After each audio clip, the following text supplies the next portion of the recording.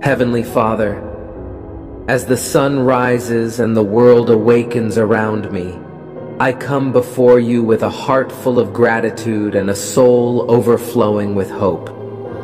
Today, I ask for your guidance and strength to help me face the challenges and obstacles that may come my way. As I begin this new day, I am reminded of the many blessings you have bestowed upon me.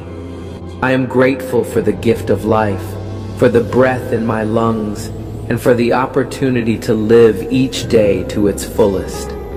I am grateful for the people you have placed in my life, for their love, support, and encouragement. And I am grateful for the countless ways in which you have shown me your love and mercy. But Lord, I know that life can be difficult and that there are times when we face trials and tribulations that test our faith and our resolve. In those moments, I ask that you grant me the courage to face my fears, the strength to overcome my doubts, and the perseverance to keep moving forward. Help me to trust in your plan for my life and to have faith that you will guide me through even the darkest of valleys. And Lord, as I go about my day, help me to be a light in the world, shining your love and compassion to all those I encounter.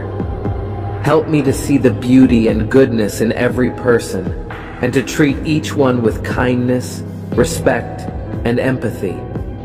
Help me to be a source of hope and inspiration to those who need it most, and to bring joy and peace wherever I go.